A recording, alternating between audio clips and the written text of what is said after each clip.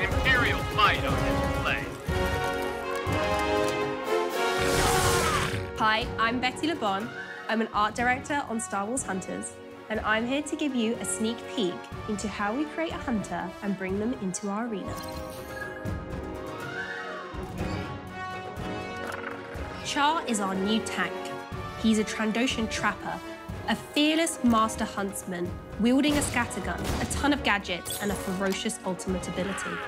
When creating Charr, we started with his playstyle and gathered references of species that might fit the design. Delving into the Lucasfilm archives, creating mood boards, and discussing different archetypes.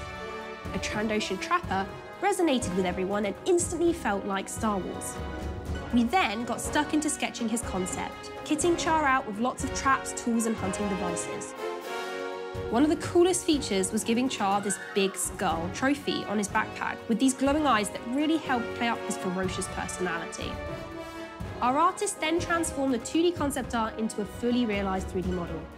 They started by building a basic framework to ensure the proportions and silhouette matched the concept. With the initial sculpt complete, we brought in materials to add texture and make his details pop. Once modelled, Charr went off to be rigged. This is where we create a digital skeleton for the character. The rig becomes the puppet that we use to define Charr's movements.